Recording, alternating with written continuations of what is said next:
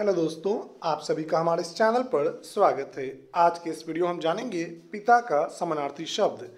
कि पिता का समानार्थी शब्द क्या होता है, पिता का समानार्थी शब्द क्या होगा? तो दोस्तों, आपसे एक रिक्वेस्ट है कि आप इस वीडियो को पूरा इन तक देखेंगे। पिता का समानार्थी शब्द होता है जनक, तात। पिता का समानार्थी शब्द है जनक और तात। अब बात करते हैं दोस्तों, आज के हमारे क्वेश्चन की। तो आज का हमारा क्वेश्चन है कि पानी का समानार्थी शब्द क्या होता है? आपको कमेंट बॉक्स में लिख के बताना है कि पानी का समानार्थी शब्द क्या होगा। साथ ही साथ हमारे इस चैनल को सब्सक्राइब करना है और वीडियो को लाइक करना है।